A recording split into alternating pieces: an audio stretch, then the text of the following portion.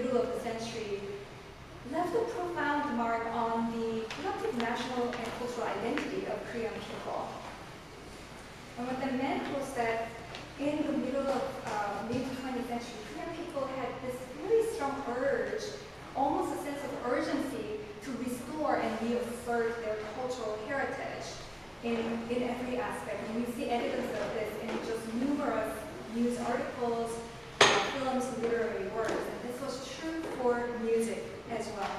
Musicians writing during this time felt obliged to express their cultural heritage. Um, yet, musicians had another challenge. And at this moment, I want you to shift your imagination from mid-century Korea, mid-20th century Korea to mid-20th century Europe, because something really interesting was happening in Europe, in the musical world. Post-World War II, uh, Europe, in Europe, Germany was kind of at the center of musical thoughts. Of course, there was tremendous amount of American uh, money supporting the cultural restoration of culture in Germany. Yes, and 1950s, uh, musicians are trying to restore this very innovative and interesting musical development that was happening at the beginning of the century that had been uh, cut off by the rise of Nazism and World War II. Um, some of the reasons for were that the musicians who were developing these ideas were um, musicians like Schoenberg, they weren't very, very Jewish musicians, and they were also very difficult music. So Nazi banned this kind of music. So at the end of World War II, musicians were trying to bring back this idea, new musical thoughts, which now we call avant-garde music. Yeah? And it sounds very different from the kind of music that we're familiar with, music that uses just traditional major or minor scales. Um, music that you might describe as a little esoteric, a little edgy, um, not very familiar. Um, and these kind of thoughts have their ways of traveling around the world. So Korean composers were very well aware of these developments and they wanted to participate in this direction. So now you see, on one hand, Korean composers wanting to express their national identity through their music, but on the other hand, they felt excited about this new musical thoughts and, and felt that it was their responsibility as artists to partake in this new direction. But how do they navigate these two different trends? That's what we're going to explore in this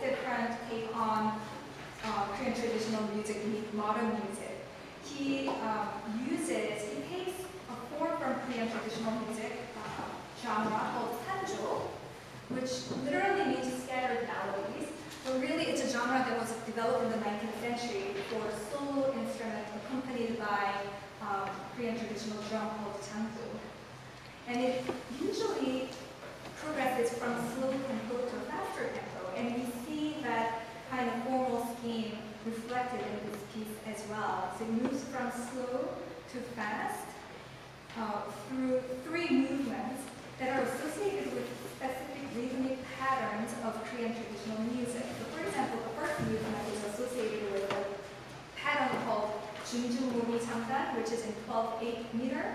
The second movement in 6-8 meter, which is um, Pimori Changdan. Oh, sorry? Onmori. Onmori Changdan. Thank you. She's Korean, she knows that.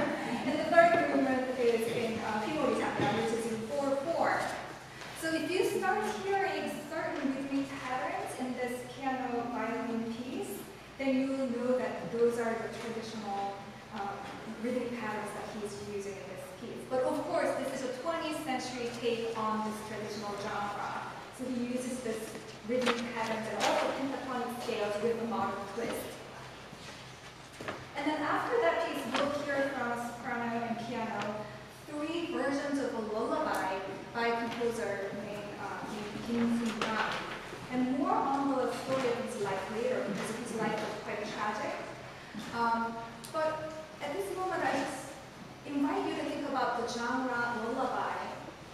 Because lullaby is not just cradle songs for children, but it is also a cultural memory, cultural tradition handed down orally.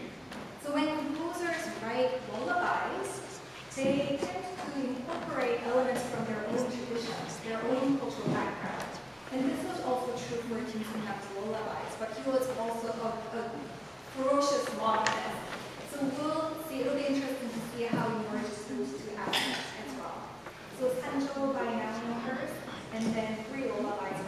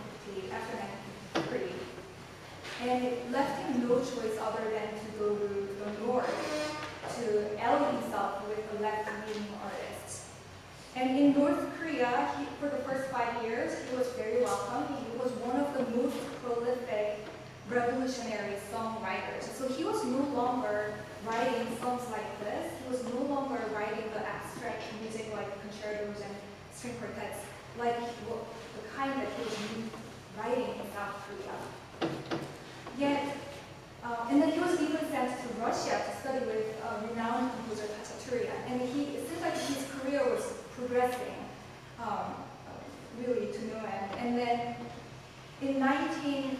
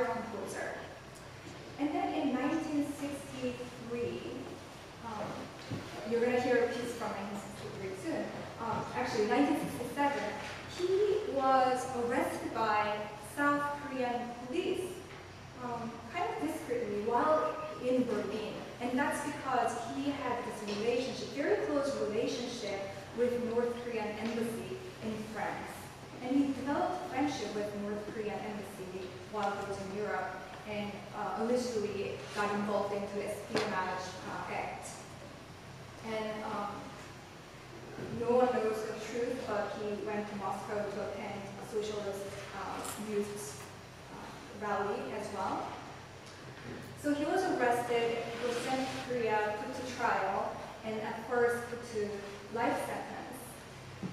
Um, at first death sentence and then life sentence. And he was released only after about 200 musicians and artists uh, around the world, including um, Karajan uh, Stravinsky, Olivier Messiaen, or um, uh, and so some of the really well-known musicians and artists signed a petition to the South Korean president at the time, Park Chung-hee, then he was released and returned, was able to return to Germany, but he was never allowed to go back to South Korea from that point, and he died in Germany. Obviously, his music was not allowed to be performed in South Korea until the 1990s, so most, a lot of his repertoire is still being rediscovered again. So we see this parallel between the life of Kim Sun-nam and the life of Isang Yun. So the next piece we're going to hear is by Isang Yun, and one of the best known pieces uh, by him. It's called Nore, which translates to song, and it sounds innocuous, but remember he was a avant composer, one of the leading avant composers, and he had this reputation of writing really difficult and esoteric music. So this may be an interesting twist to a song, but we'll hear from Yi Qun Xu and Yoon Lee. Thank you. あっ。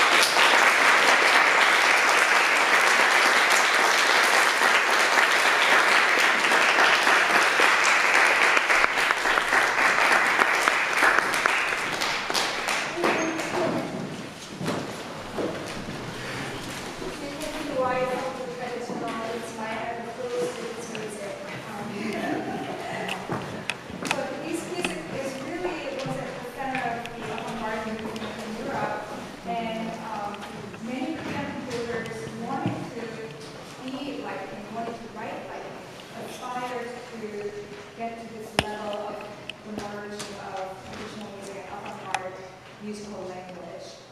And although he was not able to come back to South Korea, many Korean composers went to Germany to study with him, not just Korean composers, but uh, Chinese and Japanese composers uh, also went to Germany to study with him. So his reputation was really international by the 60s and 70s um, until the point he died in 1926. So I'm not going to say too much about uh, those pieces, but you do have the lyrics as an insert in your program, which are two sets of art songs, two sets of uh, poetry that set the same poetry, and you have English translation of them, so you can follow along.